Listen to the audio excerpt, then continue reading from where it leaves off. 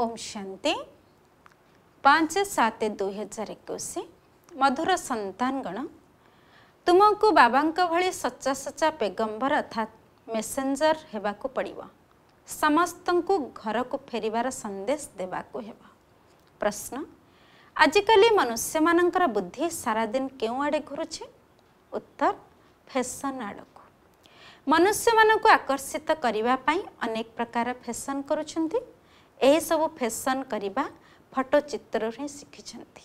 ଭାବୁଛନ୍ତି ପାର୍ବତୀ ମଧ୍ୟ ଏହିଭଳି ଫ୍ୟାସନ୍ କରୁଥିଲେ କେଶକୁ ଶୃଙ୍ଗାର କରୁଥିଲେ ବାବା କହୁଛନ୍ତି ତୁମମାନଙ୍କୁ ଏହି ପତିତ ଦୁନିଆର ଫ୍ୟାସନ୍ କରିବାର ନାହିଁ। ତୁମକୁ ତ ମୁଁ ଏଭଳି ଦୁନିଆକୁ ନେଇଯାଉଛି ଯେଉଁଠି ପ୍ରାକୃତିକ ସୌନ୍ଦର୍ଯ୍ୟ ରହିଛି। ଫ୍ୟାସନ୍ କରିବାର ଆବଶ୍ୟକତା ନଥିବ। ଗୀତ ଅଛି ତୁହେ ହୋ ମାତା ପିତା। ଓମ୍ ଶାନ୍ତି। ପିଲାମାନେ ଗୀତ ଶୁଣିଲେ ଯେତେବେଳେ ମହିମା ଗାୟନ କରିଥାନ୍ତି ତେବେ ବୁଦ୍ଧି ଉପରକୁ ଚାଲି ଯାଇଥାଏ। ଆତ୍ମା ହିଁ ବାବାଙ୍କୁ କହୁଛି ସିଏ ହିଁ ନାଉରିଆ ପତିତ ପାବନ ଅଥବା ସଚ୍ଚା ସଚ୍ଚା ସନ୍ଦେଶ ବାହକ ଅଟନ୍ତି। ବାବା ଆସି ଆତ୍ମାମାନଙ୍କୁ ସନ୍ଦେଶ ଦେଉଛନ୍ତି।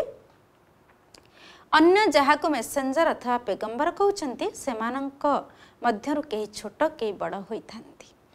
ବାସ୍ତବରେ ସେମାନେ ମେସେଜ ଅଥବା ସନ୍ଦେଶ ଦେଉନାହାନ୍ତି। ଏହିପରି ମିଛ ମହିମା କରିଦେଉଛନ୍ତି ପିଲାମାନେ ଜାଣିଛନ୍ତି ଯେ ଏକମାତ୍ର ବାବାଙ୍କ ବିନା ଏହି ମନୁଷ୍ୟ ସୃଷ୍ଟିରେ ଆଉ କାହାର ମହିମା ନାହିଁ। ସବୁଠାରୁ ଅଧିକା ମହିମା ଏହି ଲକ୍ଷ୍ମୀ ନାରାୟଣଙ୍କ ରହିଛି କାହିଁକି ନା ଏମାନେ ହେଲେ ନୂଆ ଦୁନିଆର ମାଲିକ। ଏକଥା ବି ଭାରତବାସୀ ଜାଣିଛନ୍ତି। ଦୁନିଆର ଲୋକେ କେବଳ ଏତିକି ଜାଣିଛନ୍ତି ଯେ ଭାରତ ପ୍ରାଚୀନ ଦେଶ ଅଟେ। ଭାରତରେ ହିଁ ଦେବୀ ଦେବତାମାନଙ୍କ ରାଜ୍ୟ ଥିଲା। କୃଷ୍ଣଙ୍କୁ ମଧ୍ୟ ଭଗବାନ ବୋଲି କହିଦେଉଛନ୍ତି ଭାରତବାସୀ ଏହାକୁ ଭଗବାନ ଭଗବତୀ କହୁଛନ୍ତି। କିନ୍ତୁ ଏକଥା କେହି ଜାଣିନାହାନ୍ତି ଯେ ଏହି ଭଗବାନ ଭଗବତୀ ସତ୍ୟଯୁଗ ରାଜ୍ୟ କରୁଥିଲେ।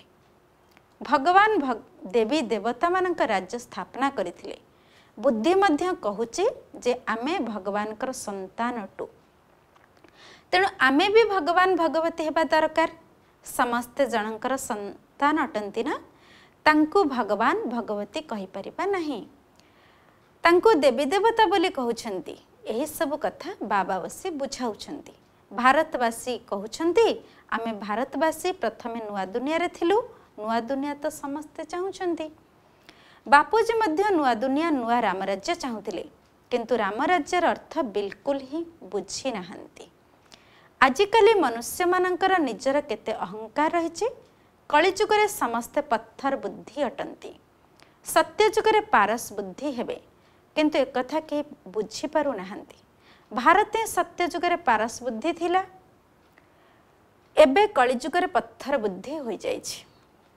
ମନୁଷ୍ୟ ତ ଏହାକୁ ହିଁ ସ୍ୱର୍ଗ ବୋଲି ଭାବୁଛନ୍ତି କହୁଛନ୍ତି ସ୍ୱର୍ଗରେ ବିମାନ ଥିଲା ବଡ଼ ବଡ଼ ମହଲ ଥିଲା ବର୍ତ୍ତମାନ ତ ଏସବୁ ଏଠାରେ ସବୁ କିଛି ଅଛି। ବିଜ୍ଞାନର କେତେ ବୁଦ୍ଧି ହୋଇ ବୃଦ୍ଧି ହୋଇଚାଲିଛି ଏହାଦ୍ୱାରା କେତେ ସୁଖ ମିଳୁଛି। ତେବେ ଫ୍ୟାସନ୍ ଆଦି କରୁଛନ୍ତି ସାରାଦିନ ବୁଦ୍ଧି ଫ୍ୟାସନ୍ ପଛରେ ପଡ଼ିଛି। କୃତ୍ରିମ ସୁନ୍ଦର ହେବା ପାଇଁ କେଶକୁ କେତେ ସଜାଉଛନ୍ତି କେତେ ପଇସା ଖର୍ଚ୍ଚ କରୁଛନ୍ତି ଏହିସବୁ ଫ୍ୟାସନ୍ ଫଟୋଚିତ୍ରରୁ ଶିଖୁଛନ୍ତି। ଭାବୁଛନ୍ତି ପାର୍ବତୀଙ୍କର ଏଇଭଳି ଆମେ ନିଜର କେଶ ସଜାଉଛୁ। ଏହିସବୁ ଅନ୍ୟକୁ ଆକର୍ଷଣ କରିବାର ହିଁ କରୁଛନ୍ତି। ଆଗକୁ ପାର୍ସୀ ଲୋକମାନେ ସ୍ତ୍ରୀମାନେ ମୁହଁରେ କଳା ରଙ୍ଗର ଜାଲି ପିନ୍ଧୁଥିଲେ। ଯେପରି କେହି ଦେଖି ପ୍ରେମିକ ନ ହୋଇଯାଆନ୍ତୁ। ଏହାକୁ ପତିତ ଦୁନିଆ କୁହାଯାଉଛି। ଗାଉଛନ୍ତି ତୁହ୍ନେ ହୋ ମାତା ତୁହ୍ନେ ହୋ ପିତା। କିନ୍ତୁ ଏହା କାହାକୁ କହିବା ଦରକାର? ମାତା ପିତା କିଏ? ଏକଥା ବି ଜାଣିନାହାନ୍ତି ମାତା ପିତା ନିଶ୍ଚୟ ବର୍ଷା ଦେଇଥିବେ। ବାବା ତୁମ ପିଲାମାନଙ୍କୁ ସୁଖର ବର୍ଷା ଦେଇଥିଲେ। କହୁଛନ୍ତି ମଧ୍ୟ ବାବା ଆମେ ତ ଆପଣଙ୍କ ବିନା ଆଉ କାହାଠାରୁ ଶୁଣିବୁ ନାହିଁ। ଏବେ ତୁମେ ଜାଣିଛ ଶିବ ବାବାଙ୍କର ମହିମା ଗାୟନ କରାଯାଉଛି। ବାବାଙ୍କ ଆତ୍ମା ମଧ୍ୟ ନିଜେ କହୁଛି ଆମେ ହିଁ ପବିତ୍ର ଥିଲୁ ଏବେ ପତିତ ହୋଇଯାଇଛୁ।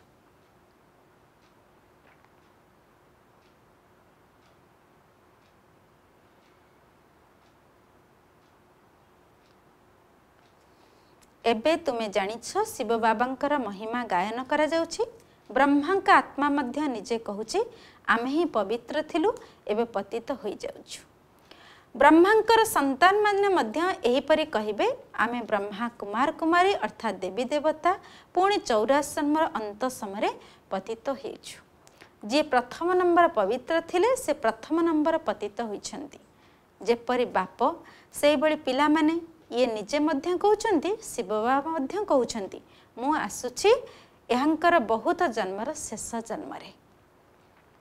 ଯିଏକି ପ୍ରଥମ ନମ୍ବରରେ ପୂଜ୍ୟ ଲକ୍ଷ୍ମୀନାରାୟଣ ବଂଶାବଳୀର ଥିଲେ ବର୍ତ୍ତମାନ ହେଲା ସଙ୍ଗମ। ତୁମେ କଳିଯୁଗରେ ଥିଲ ଏବେ ସଙ୍ଗମ ଯୁଗୀ ହୋଇଛ। ବାବା ସଙ୍ଗମ ଯୁଗରେ ହିଁ ଆସୁଛନ୍ତି ଡ୍ରାମା ଅନୁସାରେ ପିଲାମାନଙ୍କର ମଧ୍ୟ ବୃଦ୍ଧି ହୋଇ ଚାଲିଛି। ଏବେ ପିଲାମାନଙ୍କୁ ଜ୍ଞାନ ମିଳିଛି ଆମେ ହିଁ ଦେବତା ଥିଲୁ ପୁଣି କ୍ଷତ୍ରିୟ ବୈଶ୍ୟ ଶୂଦ୍ର ହୋଇଛୁ। ସାରା ଚକ୍ରକୁ ତୁମେ ଭଲ ଭାବରେ ଜାଣିଛ ଆମେ ଚୌରାସନ୍ମ ନେଇଛୁ ଏହା ତ ବହୁତ ସହଜ। ଅନେକଙ୍କ ବୁଦ୍ଧିରେ ଏକଥା ମଧ୍ୟ ରହୁନାହିଁ। ଛାତ୍ରମାନେ କ୍ରମାନୁସାରେ ତ ରହିଥାନ୍ତି ନା ଡାହାଣ ପଟୁ ଆରମ୍ଭ କରିଥାନ୍ତି first class second class third class ଅର କନ୍ୟାମାନେ ନିଜେ କହୁଛନ୍ତି ଯେ ଆମର ବୁଦ୍ଧି ଥାର୍ଡ଼ କ୍ଲାସ୍ ଅଟେ। ଆମେ କାହାକୁ ବୁଝାଇ ପାରିବୁ ନାହିଁ। ମନ ତ ବହୁତ ହେଉଛି କିନ୍ତୁ କହିପାରିବୁ ନାହିଁ ବାବା କ'ଣ କରିବୁ? ଏହା ହେଲା ନିଜ କର୍ମର ହିସାବ କିତାବ। ଏବେ ବାବା କହୁଛନ୍ତି ମୁଁ ତୁମକୁ କର୍ମ ଅକର୍ମ ବିକର୍ମର ଗତିର ଜ୍ଞାନ ଶୁଣାଉଛି। କର୍ମ କରିବାକୁ ହେବ ଏକଥା ତୁମେମାନେ ଜାଣିଛ। ଥାର୍ଡ଼ କ୍ଲାସ୍ ବୁଦ୍ଧିବାଲା ଏହି କଥାକୁ ବୁଝିପାରିବେ ନାହିଁ। ଏହା ହେଉଛି ରାବଣ ରାଜ୍ୟ। କିନ୍ତୁ ଏକଥା କେହି ବି ଜାଣିନାହାନ୍ତି। ରାବଣ ରାଜ୍ୟରେ ମନୁଷ୍ୟ ବିକର୍ମ କରିବା କରିବେ ତେଣୁ ତଳକୁ ହିଁ ଖସିବେ।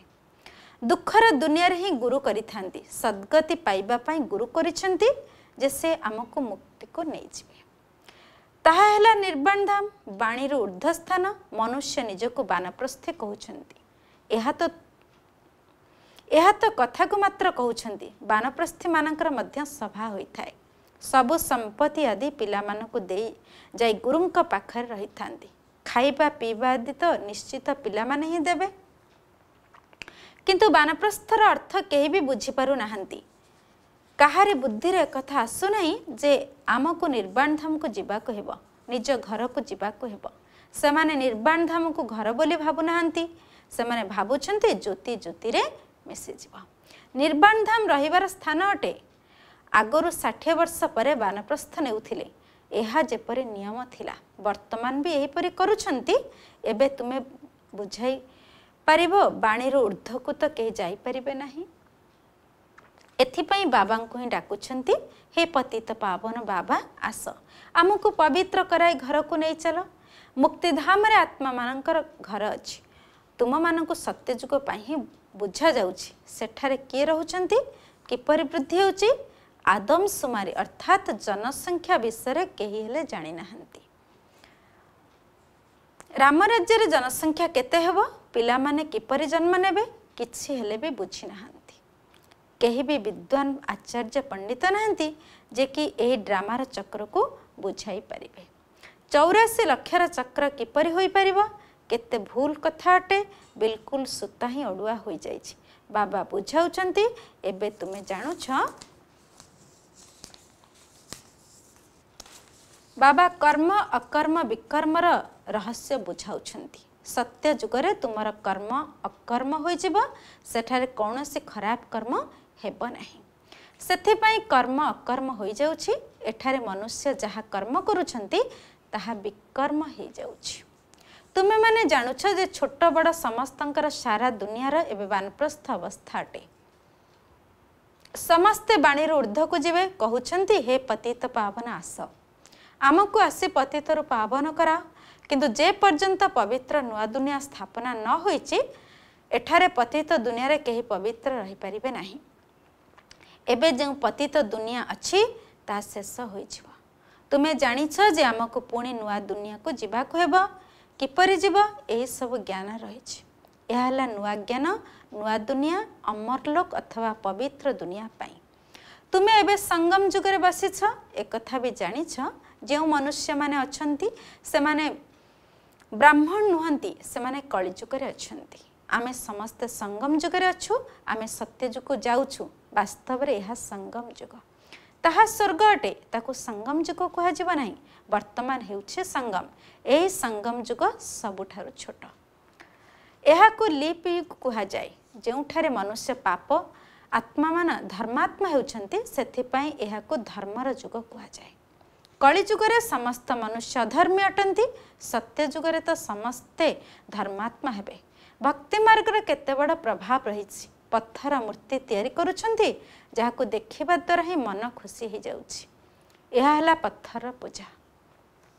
ଶିବଙ୍କ ମନ୍ଦିରରୁ କେତେ ଦୂର ଦୂର ପର୍ଯ୍ୟନ୍ତ ଯାଉଛନ୍ତି ପୂଜା କରିବା ପାଇଁ। ଶିବଙ୍କ ଚିତ୍ର ତ ଘରେ ମଧ୍ୟ ରଖିପାରିବ। ପୁଣି ଏତେ ଦୂରକୁ ଦୂର କାହିଁ ଯାଉଛ? ଏହି ଜ୍ଞାନ ଏବେ ବୁଦ୍ଧିରେ ଆସିଛି। ଏବେ ତୁମ ଆଖି ଖୋଲିଛି ବୁଦ୍ଧିର ଦ୍ୱାରା ଖୋଲିଛି। ବାବା ଜ୍ଞାନ ଦେଉଛନ୍ତି ପରମପିତା ପରମାତ୍ମା ଏହି ମନୁଷ୍ୟ ସୃଷ୍ଟିର ବୀଜ ରୂପ ଜ୍ଞାନର ସାଗର ନଲେଜଫୁଲ୍ ଅଟନ୍ତି। ଆତ୍ମା ଏବଂ ମଧ୍ୟ ଏହି ଜ୍ଞାନକୁ ଧାରଣ କରୁଛି। ଆତ୍ମା ହିଁ ରାଷ୍ଟ୍ରପତି ଆଦି ହେଉଛି। ମନୁଷ୍ୟମାନେ ଦେହ ଅଭିମାନୀ ହୋଇଥିବାରୁ ଦେହର ହିଁ ମହିମା କରୁଛନ୍ତି।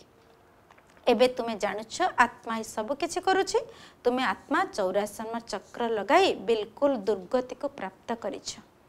ଏବେ ଆମେ ଆତ୍ମା ବାବାଙ୍କୁ ଜାଣୁଛୁ ବାବାଙ୍କ ଠାରୁ ବର୍ଷା ନେଉଛୁ ଆତ୍ମାକୁ ଶରୀର ତ ନିଶ୍ଚିତ ଧାରଣ କରିବାକୁ ହେବ। ଶରୀର ବିନା ଆତ୍ମା କିପରି କଥା ହେବ? କିପରି ଶୁଣିବ? ବାବା କହୁଛନ୍ତି ମୁଁ ନିରାକାର ଅଟେ ମୁଁ ମଧ୍ୟ ଶରୀର ଆଧାର ନେଉଛି। ତୁମେ ଜାଣିଛ ଶିବ ବାବା ଏହି ବ୍ରହ୍ମାଙ୍କ ସ୍ୱର ଦ୍ୱାରା ଆମକୁ ଜ୍ଞାନ ଶୁଣାଉଛନ୍ତି। ଏହି କଥା ତୁମେ ବ୍ରହ୍ମା କୁମାର କୁମାରୀମାନେ ହିଁ ବୁଝୁଛ। ତୁମକୁ ଏବେ ଜ୍ଞାନ ମିଳୁଛି। ବ୍ରହ୍ମାଙ୍କ ଦ୍ୱାରା ଆଦି ସନାତନ ଦେବୀ ଦେବତା ଧର୍ମର ସ୍ଥାପନା ହେଉଛି। ସେଇ ବାବା ରାଜ୍ୟକୁ ଶିଖାଉଛନ୍ତି। ଏଥିରେ ଦ୍ୱନ୍ଦ୍ୱର କୌଣସି କଥା ନାହିଁ। ଶିବ ବାବା ଆମକୁ ବୁଝାଉଛନ୍ତି। ପୁଣି ଆମେ ଅନ୍ୟମାନଙ୍କୁ ବୁଝାଉଛୁ। ଆମକୁ ଜ୍ଞାନ ଶୁଣାଇଲା ବାଲା ମଧ୍ୟ ଶିବ ବାବା ହିଁ ଅଟନ୍ତି। ଏବେ ତୁମେ କହୁଛ ଆମେ ପତିତରୁ ପାବନ ହେଉଛୁ। ବାବା ବୁଝାଉଛନ୍ତି ଏହା ହିଁ ପତିତ ଦୁନିଆ ରାବଣ ରାଜ୍ୟ ଅଟେ ରାବଣ ପାପାତ୍ମା ହେଇଯାଉ ରାବଣ ପାପ ଆତ୍ମା କରାଉଛି ଏକଥା ଆଉ କେହି ବି ଜାଣିନାହାନ୍ତି। ଯଦିଓ ରାବଣର ପିତୁଳା ଜଳାଉଛନ୍ତି କିନ୍ତୁ କିଛି ବି ବୁଝୁନାହାନ୍ତି। ସୀତାକୁ ରାବଣ ନେଇଗଲା ଏହିପରି କଲା କେତେ କଥା ବସି ଲେଖିଛନ୍ତି। ତ ଯେବେ ବସି କଥା ଶୁଣୁଛନ୍ତି ତେବେ କାନ୍ଦି ପକାଉଛନ୍ତି ଏସବୁ ହେଲା ମିଥ୍ୟା କଥା ବାବା ଆମକୁ ବିକର୍ମା ଜିତ୍ କରାଇବା ପାଇଁ ବୁଝାଇଛନ୍ତି କହୁଛନ୍ତି ମୋତେ ୟାଦ କର ଅର ଯେଉଁଠାରେ ମଧ୍ୟ ବୁଦ୍ଧି କେଉଁଠାରେ ମଧ୍ୟ ବୁଦ୍ଧି ଲଗାଅ ନାହିଁ ଶିବ ବାବା ଆମକୁ ନିଜର ପରିଚୟ ଦେଇଛନ୍ତି ପତିତ ପାବନ ବାବା ଆସି ନିଜର ପରିଚୟ ଦେଉଛନ୍ତି ଏବେ ତୁମେ ଜାଣିଛ ଯେ ବାବା କେତେ ମିଠା ଅଟନ୍ତି ଯିଏ ଆମକୁ ସ୍ୱର୍ଗର ମାଲିକ କରାଉଛନ୍ତି।